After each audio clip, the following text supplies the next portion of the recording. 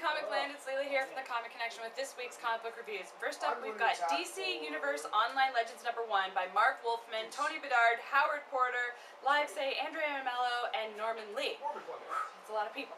Okay, so based on the game uh, that is out now, uh, the story begins with Lex Luthor killing Superman and being betrayed by his ally, who is bent on destroying Earth.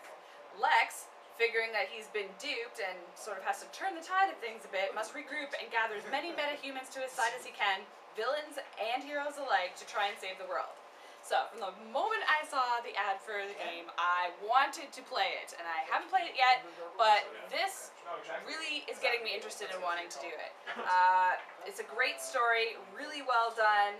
Uh, I, what else can I say? If you're doing the online thing, you'll probably want to read this too. It's just a great, great story. And if not, and you're kind of interested in the video game but not quite sure about all of the stuff in it, then check this out. It's pretty good. And last but not least, we've got Deadpool and Cable number 26 by Duane Swierczynski and Leandro Buccellato. Yeah, I know. In this issue, Deadpool plans um, to commemorate the life of Cable, who has fallen, and as only Deadpool can.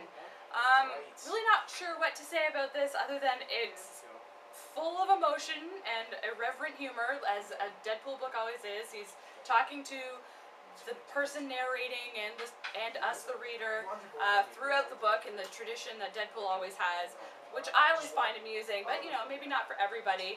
Um, I thought this was pretty good. It was a fitting end to the Cable Deadpool team up, and I definitely think that if you're a fan of either character, you won't be disappointed by this one. See you next week, guys. Hey folks, Jim here again with uh, this week's Geeking Out comic book reviews. First up, we have Transformers Infestation number one, written by Dan Abnett and Andy Lanning with art by Nick Roche. And in this one, when Galvatron crash lands on Earth in Las Vegas, it's up to the Autobots to stop him. But it seems everyone might need help with the zombie horde spreading. Um, not a bad continuation of the Infestation series. I'm really not, it's really good to see uh, Nick Roche doing more Transformers art as always. And this one pretty much ties into a lot of good Transformers continuity. So if you're a fan of the series, you might want to check this one out because it's actually important to the storyline going on now. Uh, not bad, but could have been better. Um, looking forward to the second issue to see how well it goes. But uh, if you're following Infestation, this is a must-have. Next up, we have Gore number one, written by Alex Chiba with art by Alessia no Nocera. And in this one, after her sister is brutally killed by a mermaid and it is falsely reported as a shark attack, uh, Roxanne seeks out Gabriel, the demon slayer, and learns fairy tales are true but none have happy endings, and that soon the fairy tale creatures will invade our realm to feast.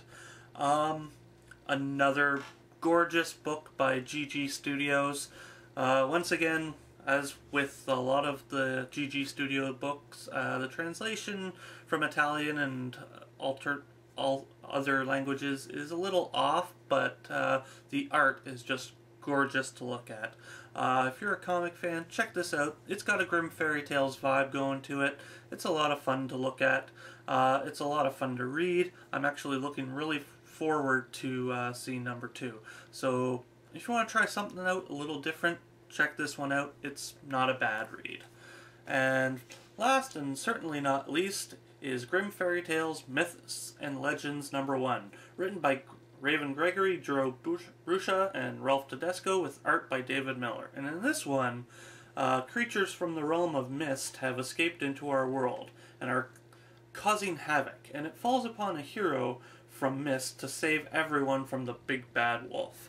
Um, not bad. Um, as always, it seems that uh, the writing is a little off on the Grimm Fairy Tale stories, but as always, the art is simply gorgeous to look at. So we have pluses and minuses as always. Um, this was not a bad first issue. It actually ties into uh, Grimm Fairy Tales continuity quite well, and uh, I quite enjoyed it. Um, looking forward to seeing number two, but uh, if you're not a fan of the really dark Grimm Fairy Tales, you're probably not going to like this, or gore for that matter. But uh, you might want to check this out if you're a longtime Grimm Fairy Tale fan because it really is quite good uh, compared to a lot of the other books that are out from Grimm Fairy Tales. So yeah, check this one out and we will see you next week.